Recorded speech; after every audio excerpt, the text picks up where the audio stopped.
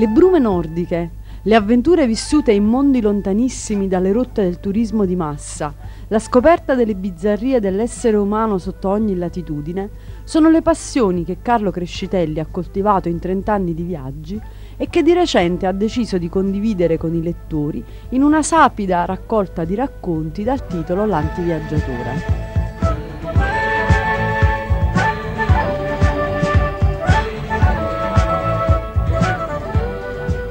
Da sempre nemico giurato delle banalità turistiche, Crescitelli ha peregrinato in Europa, Africa, Asia e Stati Uniti, munito di zaino in spalla e di uno spirito ironico di matrice britannica che coglie in tratti veloci e sorprendentemente acuti le stranezze di luoghi remoti, la tragicomicità di contrattempi ed incidenti vari, la bellezza della natura selvaggia o il caos delle metropoli e l'involontaria comicità degli uomini.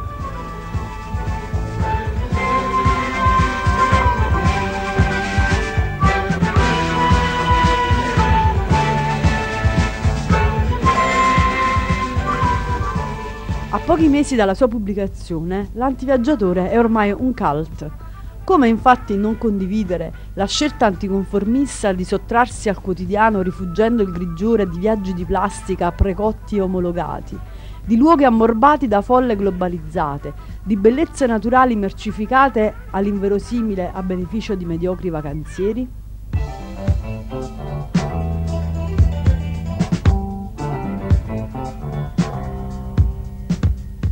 Oggi siamo qui ad Altavilla per parlare di viaggi, di grandi viaggi, di viaggi d'avventura, di viaggi di conoscenza e abbiamo deciso di partire, di iniziare questo percorso eh, partendo da un antenato. Siamo qui con Carlo Crescitelli, autore di un libretto molto molto gustoso, molto bello che è L'antiviaggiatore e siamo qui perché in uno dei suoi scritti, peraltro non ancora pubblicato, Carlo Crescitelli ha deciso di, ha riallacciato il filo ideale della memoria con un suo eccellente antenato che è Sant'Alberico Crescitelli di cui vediamo ritratti, due ritratti alle nostre spalle e che eh, nel 2000 è salito alla gloria degli, alta degli altari diventando santo.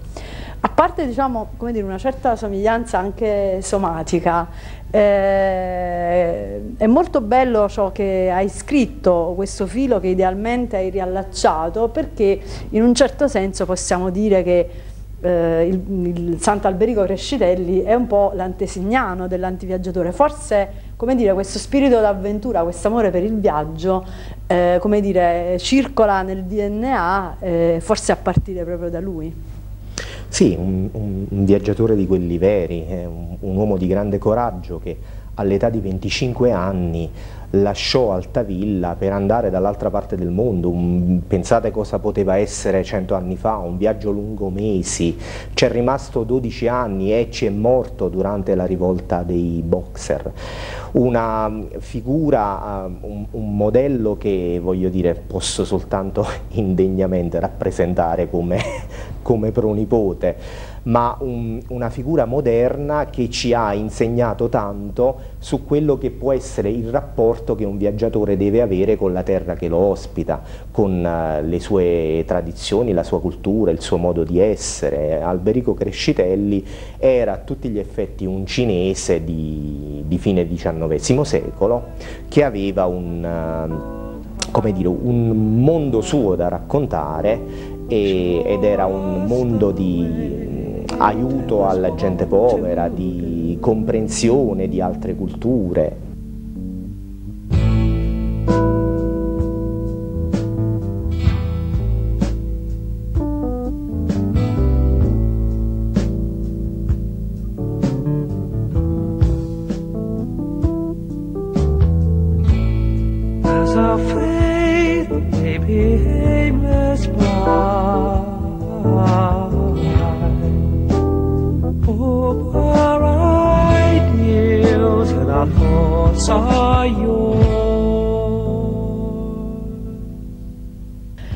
Alcuni viaggiano per il gusto dell'avventura, per scoprire nuovi posti della terra, altri, altri, viaggiano perché sono appassionati della cultura, per vedere e scoprire opere d'arte, altri ancora viaggiano con la curiosità dell'antropologo per tuffarsi eh, in mezzo alla gente e scoprirne gli usi e i costumi.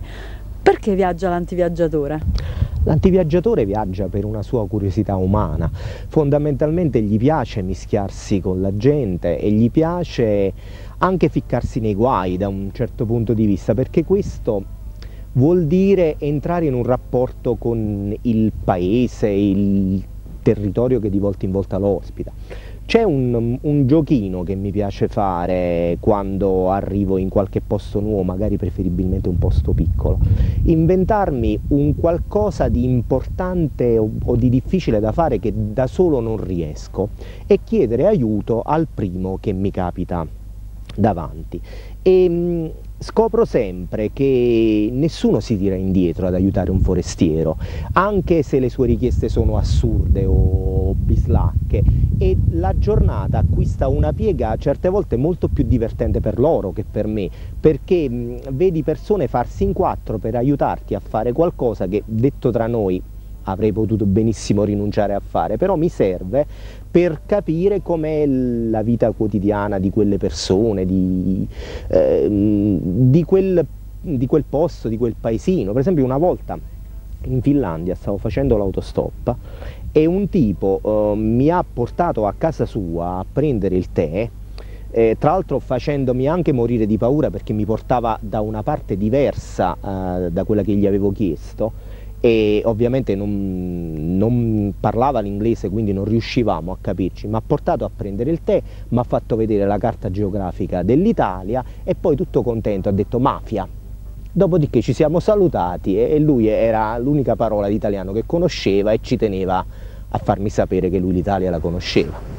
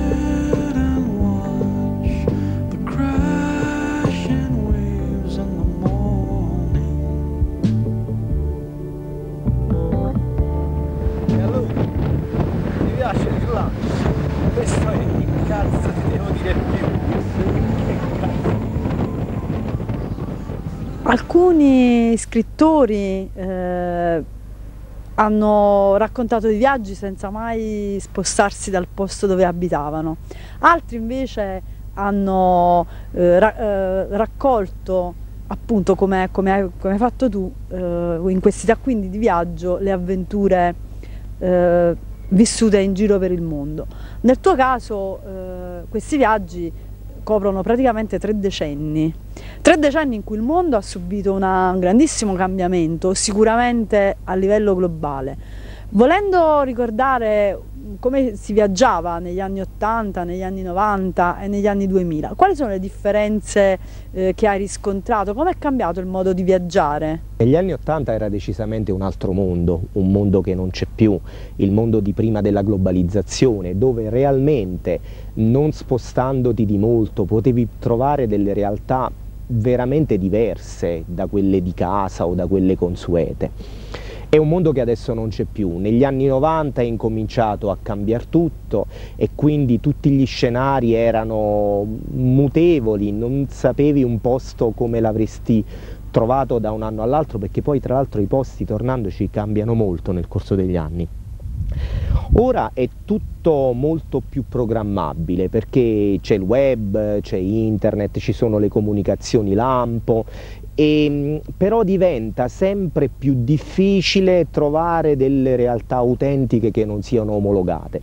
Uno dei momenti in cui mi sono sentito più depresso in questi ultimi anni di viaggio è stato quando ero a Cagliari con, eh, con mio figlio, con mio figlio piccolino e siamo andati al McDonald's e lui mi ha detto che bello papà, è uguale uguale a quello di Avellino E questo per dire che le grandi metropoli ora sono tutte identiche ed è proprio per questo che mi piace di più muovermi negli ambienti rurali o, o di montagna o di mare dove realmente forse riesci a trovare ancora qualche pezzettino del mondo vero che c'era prima e non di quello della globalizzazione che purtroppo oggi è, è uguale dappertutto. Ciò non di meno anche diciamo, in questi giorni, in questi tempi, eh, c'è spazio per qualcuno diciamo, di, quei, di, quei, bizzarri inconvenienti di viaggio che eh, sono, sono, tipici dei racconti dell'antiviaggiatore. Ce ne vuoi ricordare qualcuno? Sì, mm, vi voglio parlare proprio perché oggi è una bella giornata d'inverno, eh, le previsioni sono di neve, ci sono le gazze che che fanno capolino tra gli alberi, quindi è, è, il clima ideale per me questo, quello che mi piace di più. Vi voglio parlare di com'è per esempio la vita nel, nell'Artico o nell'Atlantico subartico, vi voglio parlare del fatto che lì c'è una solidarietà umana diversa da quella nostra, per cui un treno può fermarsi per uh, aspettare e prendere su i passeggeri di quello che viene nella direzione opposta e mi è successo in Lapponia. Vi può capitare di bere acqua di iceberg che poi vai a vedere, è batteriologicamente pura e costa il doppio, ma vai a vedere se poi veramente è acqua, è acqua di, di, ghiaccio fuso di 100 anni oppure no. Vi può capitare di incontrare donne matte per gli italiani, ma non credo vi piacerebbero perché pesano 130 kg, mi riferisco per esempio al nord del Canada, pesano 130 kg perché hanno mangiato per anni pesce rancido fritto nel burro, però loro sognano l'Italia e l'eleganza degli italiani. Al polo si fanno gli inciuci come si fanno qui da noi, eh? non pensiate che sia poi tutto così diverso. E un italiano magari deve, deve ballare la tarantella, raccontare le barzellette, perché se no gli dicono che sembra uno svizzero e non va bene, quindi alla fine mh, diventa divertente vedere come tanti piccoli ticco, tante piccole manie te le porti simpaticamente in giro anche per il modo in cui il profilo, lo stereotipo dell'italiano viene visto in paesi così lontani, così remoti. Can you tell me where my country lies? Said the uniform to his true love's eyes. It lies with me, cried the queen of maybe, for her merchandise he traded in his prize. Paper late, cried a voice in the crowd. Mm -hmm. Old man dies, the note he left was signed Old Father Thames. It seems he's drowned, selling England by the pound.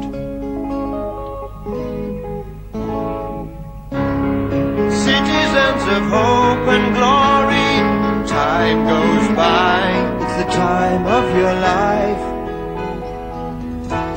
Easy now, sit you down.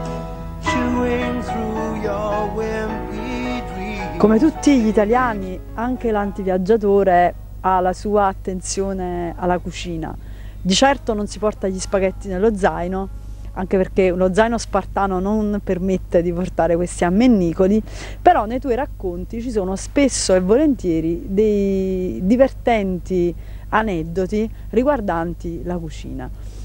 Qual le, quali sono le cose più tremende che ti è capitato di mangiare in giro per il mondo o magari eh, i posti dove hai trovato delle, delle sorprese piacevoli. L'antiviaggiatore è un temerario, lui prova di tutto e di più e, e, si infila in dei guai buffi alle volte per quello che gli capita di, di mangiare, gli piace lo junk food, quindi si, si diverte a fare gli esperimenti più strani. In linea di massima però ti dico che nessun popolo mangia male per quel che riguarda le sue specialità di cucina, quindi eh, concentrandosi su quelle che sono le cose tipiche di quel posto non si dovrebbero avere problemi, salvo uno, c'è un solo popolo al mondo che mangia male di suo. E penso sia evidente per tutti, sono gli inglesi. Gli inglesi eh, mangiano cose crude oppure bruciate, mischiano la carne e il pesce in dei pasticci, danno da mangiare ai bambini neonati le patatine fritte nel, nella sugna. E poi dopo succede che alzandosi da tavola con un certo nervosismo lo sport nazionale può anche essere alle volte quello di fare a botte, ma bisogna capirlo perché è l'unico popolo al mondo che mangia male. E belle sorprese se ne possono comunque sempre avere. Io mi ricordo nella mia playlist di, di, di bei pranzi, mi ricordo le pennette al salmone di Vancouver, mi ricordo la pizza di Milano. Proprio per farlo sapere, in questo sughetto c'è il porto e questa è una cosa che bisogna fare a casa appena possibile. Quindi l'agnello con la salsa al porto e vabbè questa è una patata. Salsa con il porto. Una notte di Capodanno a Barcellona mm, nella quale ci avevano cacciato mm, eh, via da dappertutto perché mio figlio, quella è una delle rare volte che eravamo in giro con la famiglia perché non c'erano steppe o deserti o, o oceano, quindi moglie e figlio erano venuti con me ci cacciavano via dappertutto perché eh, c'erano le specialità di pesce per Capodanno. Allora ho pescato l'ultima pasticceria aperta a mezzanotte meno un quarto e ho comprato una torta eh, da portare in camera per festeggiare. La mm, commessa mi ha detto mentre toglieva via il grembiule, mi ha detto è una tarta de mantequilla che in spagnolo è torta di burro. Io tradotto torta al burro e invece era veramente una torta di burro, cioè era proprio un pezzo di burro grande così, di quelli che tu puoi prendere dal frigorifero e prova a darci un morso e vedi poi dopo che succede. L'abbiamo mm, sputata tutta, l'unico che rimasto contento è mio figlio perché ha potuto mangiare le patatine del frigo bar in camera d'albergo guardandosi i cartoni che si vedeva a casa tutti i giorni sia pure in Catania.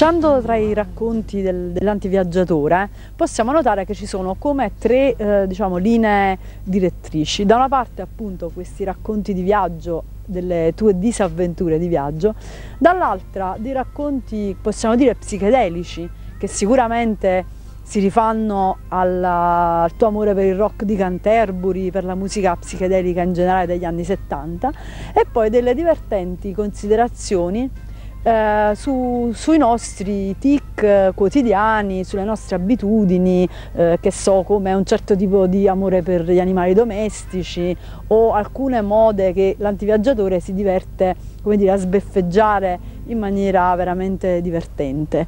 Ehm, da dove nasce questo, questo, tuo tipo di attenzione a questi tuoi, a tre aspetti in particolare della realtà che ti circonda? Parlare di viaggi è un po' parlare di noi e quindi eh, il viaggio diventa uno dei tanti aspetti della vita. Sostanzialmente una cronaca di viaggio non è altro che una scusa per riflettere su noi stessi, sul nostro modo di essere, sul nostro modo di, di vedere la vita e la realtà. Quindi il fatto di prendere in giro tic, convenzioni, mode, significa anche un po' prendere in giro se stessi, l'antiviaggiatore ci si diverte molto con questa sua immagine di italiano all'estero che un po' la carica lui, un po' la caricano gli altri e alla fine entra e esce da questo ruolo dell'italiano medio con le conseguenze del, del caso. Ehm, viaggiare è pensare a se stessi e guardare il mondo, c'è gente che viaggia soltanto per um, ascoltare la propria voce e c'è invece chi viaggia per uh, vedere quello che capita, quello che succede. L'antiviaggiatore ci prova a vedere che cosa succede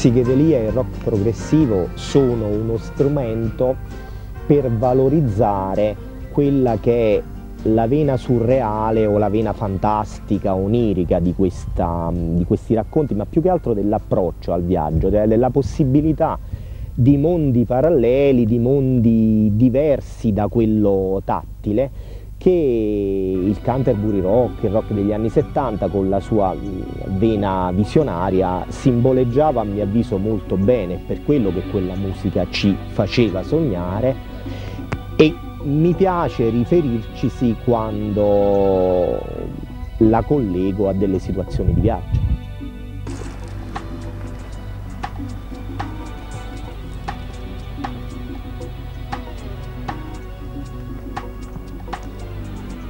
Buongiorno a tutti dalle isole Svalbard. Dico buongiorno, ma forse dovrei dire buonasera, perché lo volete sapere che ore sono? Ora ve lo faccio vedere.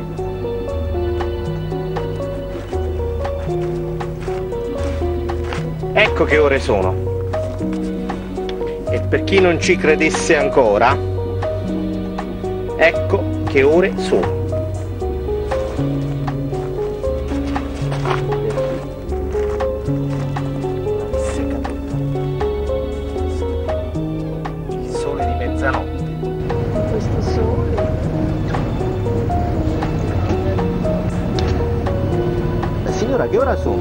Che ore sono? Sono le... no, 10. Sono le 10 perché a casa mia non ci crederanno, eh. Eh, Sono le 10 di mattina o di sera? no, di sera. Sono le 10 di sera, eh. Fa vedere l'orologio. La scoperta è una dimensione dell'anima e perciò possibile sperimentarla anche a pochi chilometri da casa. Nelle pagine del diario di viaggio di Crescitelli vi sono anche intensi momenti dedicati all'Irpinia.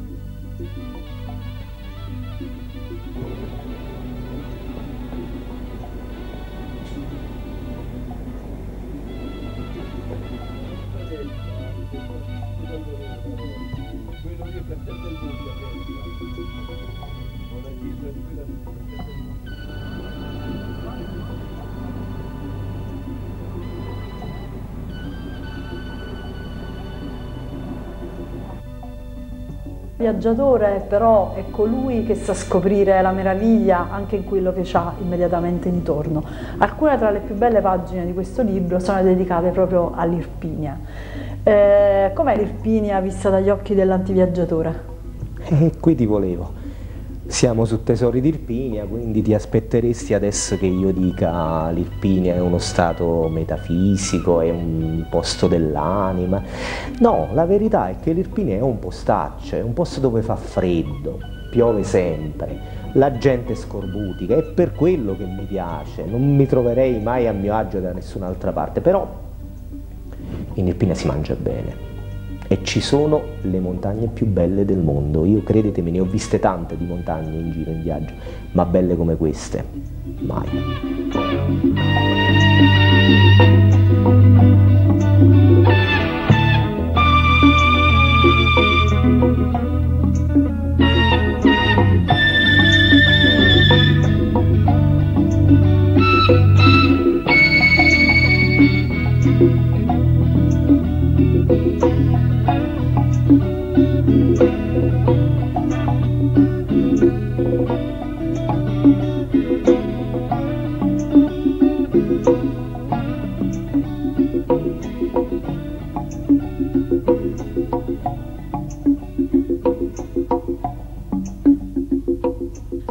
Zaino c'è tutto il mondo, tutto il mio mondo, scrive Carlo Crescitelli, incluso e compreso quello che c'è fuori. Di cos'altro potrei aver bisogno se non del mio zaino?